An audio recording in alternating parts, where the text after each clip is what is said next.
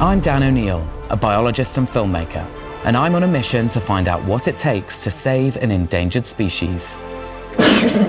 Join me on an expedition to the mountains of Kyrgyzstan as I learn firsthand how this country has brought snow leopards back from the brink. This is tough work. Look how clean that is. I think there's something. In this last leg of our journey, we venture deep into the heart of the remote and rugged Sarychat Reserve Yeah. to plant more camera traps and pinning all our hopes on spotting a snow leopard. It's like a ghost of the mountains. I think it's a phantom who's there, but you never see it.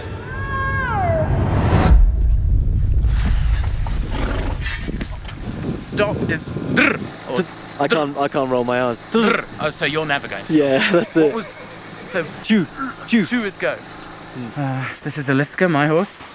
I'm just packing her up because we are going off in that direction now um, for about four hours to set some more camera traps. Uh, some rangers have gone over there. Um, some other guys have gone way, way off in that direction, and we're yeah tasked over there.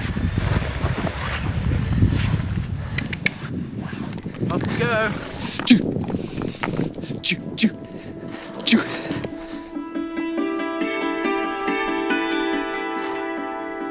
It's funny because um, if Sultan doesn't hold on to um, this girl here, apparently she will just bolt as far as the eye can see into the distance.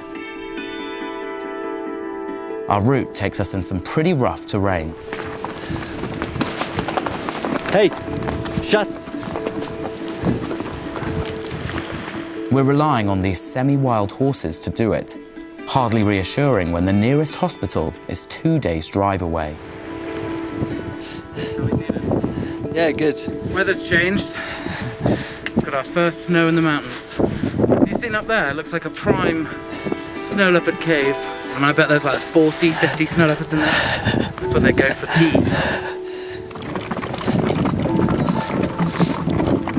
That is probably the most beautiful view I've ever seen in my life. Stunning, isn't it?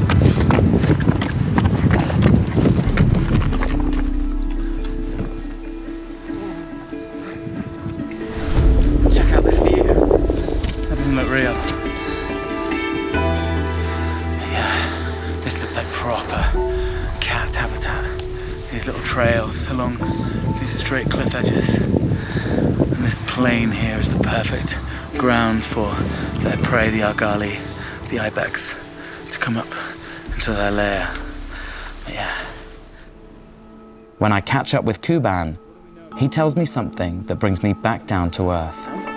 This valley is long, but it goes to hunting concession. In 2010, we apprehended one poacher here, right here, and he pretended that he was chasing wolf, but but you wouldn't chase wolf so long, you know.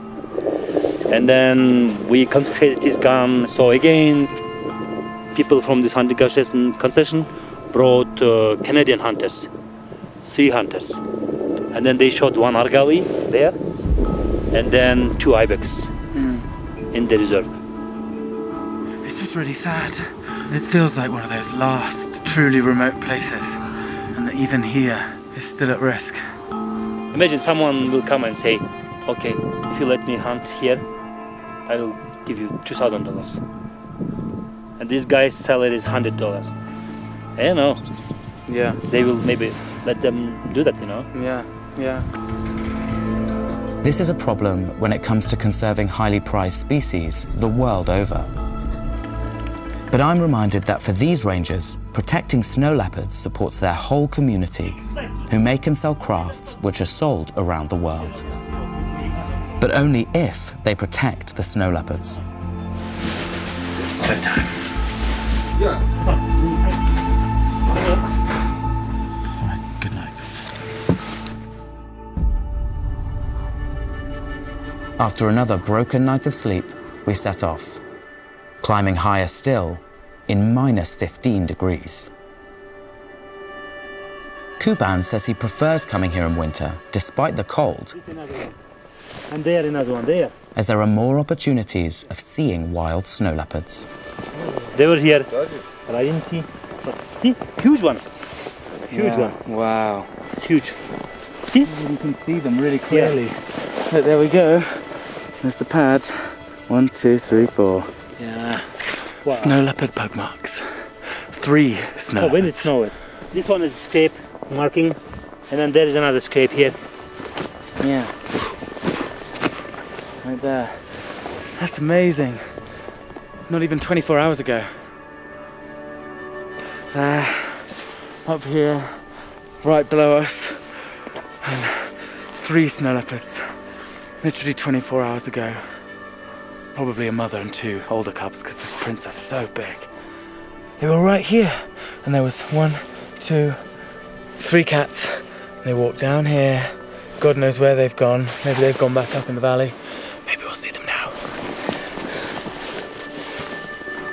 With proof that we're in the right area, the team set camera traps in the hope that in six months' time, they'll come back and find evidence of snow leopards, maybe even a mother and her cubs. But it's not foolproof. So last year a bear came and then uh, it moved our camera, but there was another camera tip, and that bear broke that camera.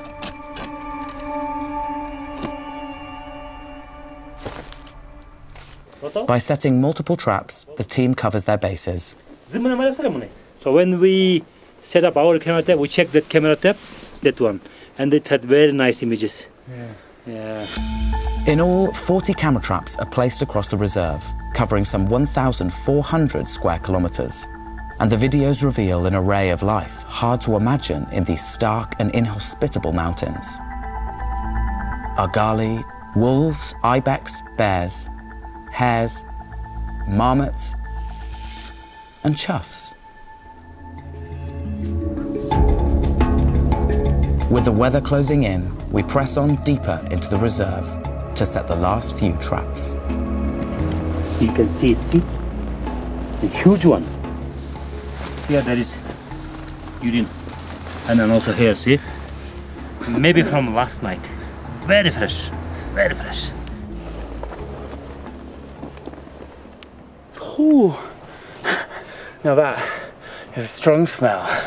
But look, dude, there's a camera trap right there. Should we check? We can check. It's not working. Maybe it's working. This camera recorded a family of three snow leopards scent marking at this very spot earlier in the year. Really cold. But when we check, there's nothing. Just tiny movements triggering the camera. Might wanna just cut. Is it working?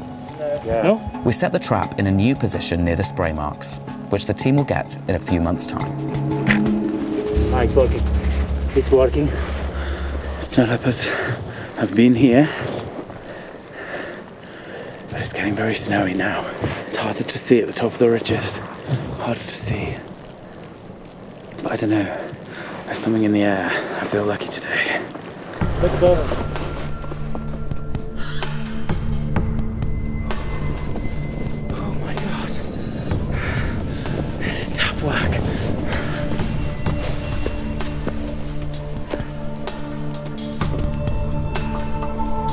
Years of practice and wildlife tracking skills guide Kuban into a promising spot. And then, something catches Kuban's eye. I think it is. If it's, if it's moving, That's no rock. It's moving. record it. It's moving. Record it, hey, eh? record it. It, it, it will move away maybe. Holy shit! It is a f- snow leopard! Oh my god! It is! I found it without binoculars. See? It is! Oh my god, dude, just right there! Oh my god, it's moving, I can't believe it! Oh! Oh my god! Oh my god! Oh my god! Oh my god, you get so close you can see it without the scope. oh my god, Wait, look, is it a rock? Is it a rock? God, I need to look again. Maybe there are two. Because the left one is also maybe smaller, you know? It's not moving, but there is something on the left. Is. Is, it, is that two? Is it just one? Maybe there are two.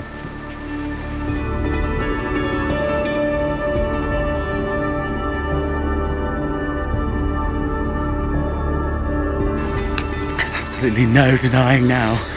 He's just sat up, he's looking right at us, he's moving his head around. That is a cat. That is a very big, snowy cat. Oh my god.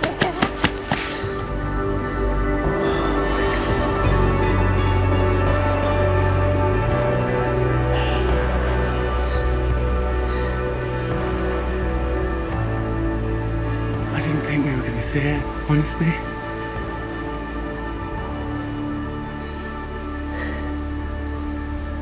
I can't believe it. The feeling of. It's like a mixture between utter, unadulterated happiness and like the biggest sense of relief you can possibly imagine.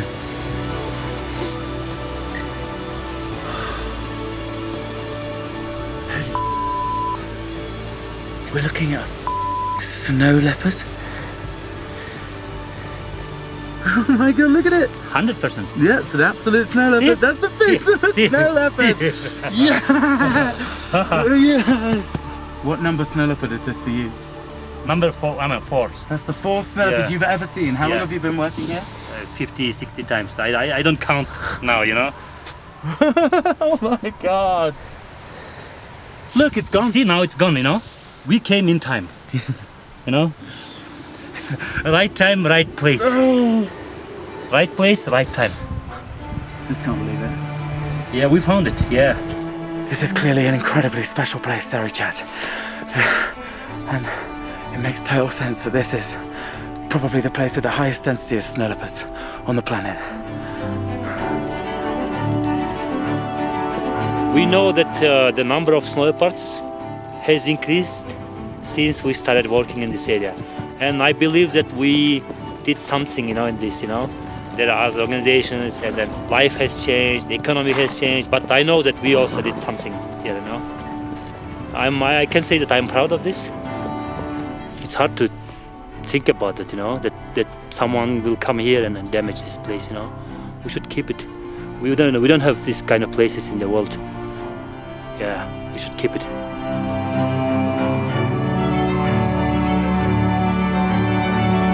In a situation where I thought maybe I'd be coming here and we kind of follow a sad, declining story of an animal that's moving its way towards extinction. It's not even a glimmer, but such a strong feeling of hope that because these people are working together in those four pillars that Koustubh talks about the community based conservation, the research, policy, and education all working together that's how you keep an animal like this alive. That's how you keep snow leopards living in these mountain habitats. And that's how you get things like seeing two snow leopards in one day. And it gets me excited for the future. That models like this might work for not just these animals, but for countless other endangered species.